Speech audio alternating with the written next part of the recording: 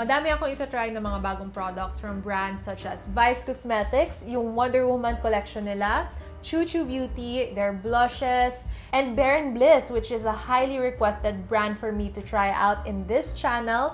Sunny Space, and many, many more. So, if you love these brands or want to discover mga bagong products this summer, then make sure to keep on watching. Since bareface ako ngayon, the first product that I'll be trying out is yung Divine Illuminator ng Wonder Woman and Vice Cosmetics collaboration. For their Divine Illuminator, ilalagay ko siya sa C-zone area ko. Napaka-ano niya talaga, champagne kind of rosy glow. So if you're expecting like a gold kind of glow, this is not gonna be the illuminator for you. In fairness, it does bring out this natural looking glow on me. It also doesn't feel sticky. Napaka-blendable din niya.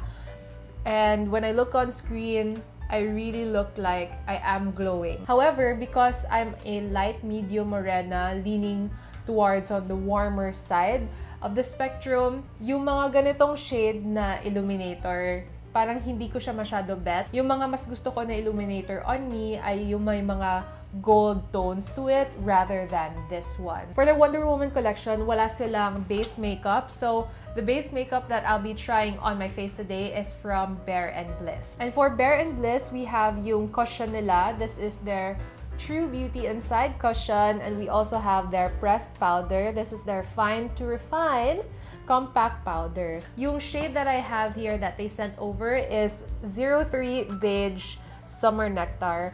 And I'm not sure if kasing kulay ko to. This is the first time that I'll be ever using their cushion. Actually, I really love the packaging. It's super duper cute. Proof na hindi ko pa siya ever nagamit kasi it still has the seal.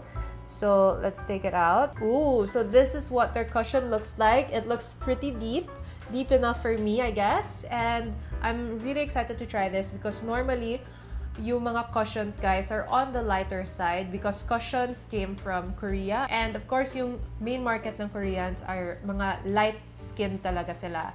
They don't normally have our skin color, ng mga morena. So, understandable naman talaga that they have little shade range um, and most of their shade range cater to the lighter side. But when the cushions hit our Philippine market, wala talagang shade na bumagay sa mga Pinay. So first, isuswatch ko siya muna dito just to check. And wow! I like it! I like it. As you can see on the screen, hindi siya grayish tingnan. Hindi nagsaseparate yung cushion na shade sa skin ko. It, it blends really, really well on screen. It looks invisible because it matches my skin color well. Nako, si Matthew from Rare and Bliss really got the perfect shade for me and I really appreciate it. So, just gonna get more. And I'm confident to apply it all over my face na kasi bagay na bagay siya sa akin. So, if you guys are fans of cushions, and you wanna you want a cushion na match na match sa skin ninyo, then go try out Bare and Bliss. Ang ganda niya. And ang bango-bango niya, guys. Oh, to think na nagtan ako, guys, ha, sa kaka-beach ko. So, this is a plus for me. So, Morenas, we have our cushion na. Hala, parang balat ko lang talaga. Ang ganda! I love it. As in, wala talaga. Wala talagang gray cast, white cast, It doesn't, it just looks like my skin. And it's very skin-like yung finish niya. Very comfortable and flexible niya on the face. I love the wear of this cushion on the face. Now that I'm done with the cushion, I'm ready to set my face. So I have their compact powder with me. And I'm quite worried because there is a major shade difference between the cushion and the powder. Hmm. We'll see if this will set well. Pero yung shade na binigay nila sa akin is also 03 Warm Beige Nectar, but it just looks super duper light. Okay naman siya, in fairness. It sets well and blends in super duper well. It looks super light lang on the packaging, but when you apply it on the face, wala namang problema, guys. Okay naman siya. And ang bango din niya. Bango-bango din niya. So normally guys, yung experience ko sa mga cushions, ang bigat ng feeling niya on the face. But dito sa Bare and Bliss, wala talaga. Parang, wala, naka-makeup ba ako? Naka-foundation ba ako? Naka-cushion? Hindi ko na maalala kasi wala talaga akong ma-feel eh. Ganun siya kagaan. I look super flat because hindi pa ako nakapag-bronzer and blush. So now, let's move on to the bronzing product we have here from Vice Cosmetics yung Paradise bronzer nila. Um, I'm gonna be using their bronzer brush as well or contour brush from Vice Cosmetics. Meron lang siya guys mga excessive fallout, so be careful of that, especially beginner kayo, because your bronzer might be a little bit harsh on your face. I'm actually a big fan of the Vice Cosmetics bronzers. And isa sa bronzer na super favorite ko sa, kanila is, ano ba yun, yung parang yung sa magenta nila na packaging, the small one. And then also yung Love Joanne nila na yung kay Mamaan na bronzer. Super duper favorite ko yon. So this bronzer is a little bit on the warm side and isa lang yung bronzer na available sa kanilang Wonder Woman collaboration. So if mestiza ka and on the cooler tone, this may look a little bit orange on you. But if you do decide to try this out or if nakibili na kayo, then the way to apply this is super duper konti lang on the face. Sa amin ng mga light morenas or deeper morenas, we can be a little bit more intense with our application because we don't mind the orange tone to it or the warm tone to it because it complements our skin. I, I like the formula. I like the buttery powder formula it has.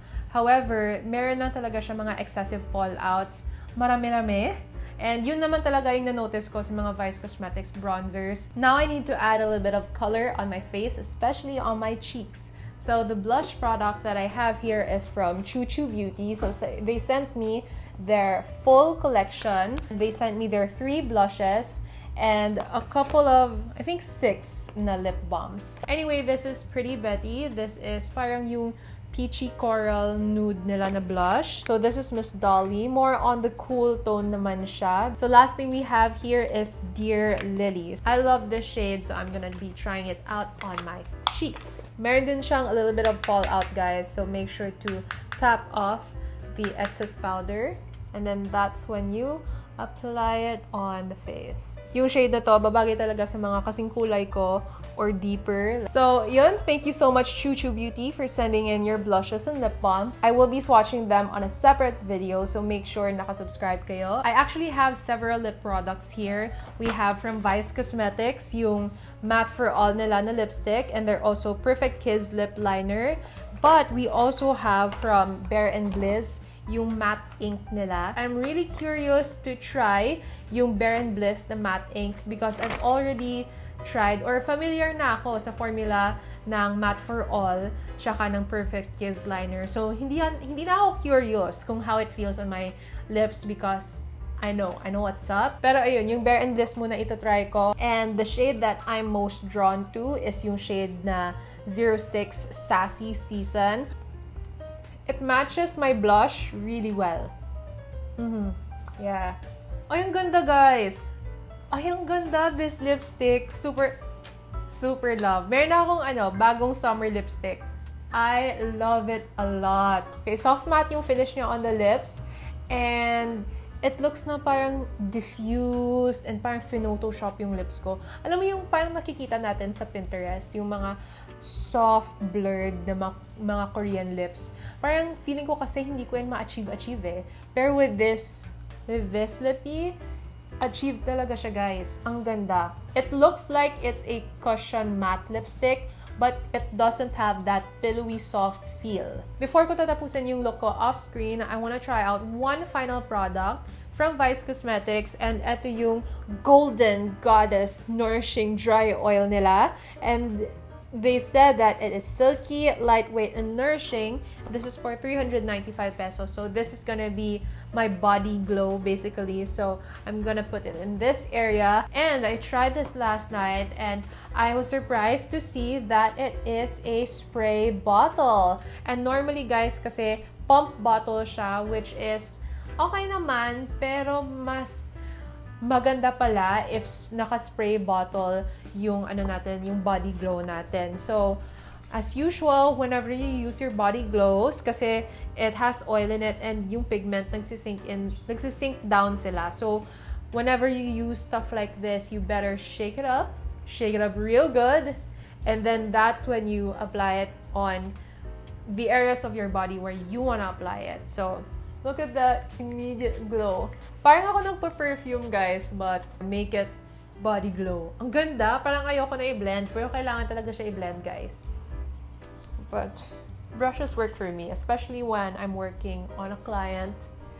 Mas madali kapag nagbabrush. Now, I'm gonna be finishing up my look and we'll discuss the rest of the products na sinend sa akin ng mga brands. So this is the finished look and if you're interested to get the products that I used on my face, ililink ko sila in the description box below. So aside from the products that I tried out earlier, madami pang products na pinadala yung mga brands sa akin and one of them is Gluta-C and I really appreciate yung PR nila for the summer because it is in a packaging that's super usable and fashionable at the same time. And gustong gusto ko yung mga lotion nila as in when I'm feeling dry, aside from their lotion, meron din sila mga whitening soap. I know whitening has such a you know, heavy negative term, but I see whitening as more of like toning, even out the tone or brightening up the skin. But it's definitely not bleaching our skin. That's a totally different story. It's important that we protect our skin from harmful rays of the sun.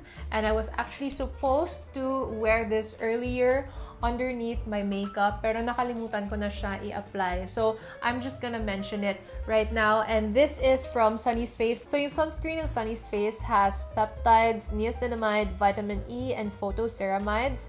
And it is SPF 50 PA+++. What I like about this sunscreen is clear yung sunscreen na to. And because it's clear, it is a good makeup base because it won't influence the color of the foundation or the concealer.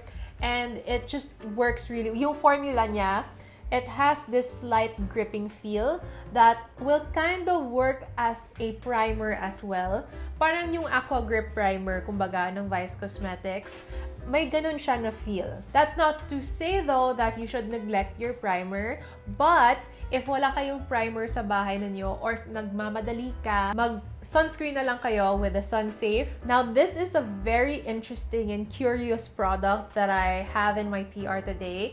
And this is the Revlon's Oil Control on the Go. And parang ano siya, volcanic roll to remove any excess oil that you have on your face. Actually, I'm quite oiling up a bit. Let's see. But I don't know how to and so, oh yes, it does work.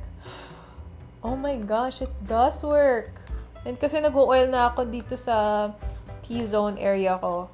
Ayan. So, I'm a little bit shining up on this area already. Ayan, parang namamatify niya nga. Hala, oo nga. Ang galing. Ang galing. So, those are the summer makeup releases that you have to check out. If gusto niyo pang tumambay to marathon, then here are the playlists here ready for you guys to watch. See you in the next video. Just remember, no hate, just love.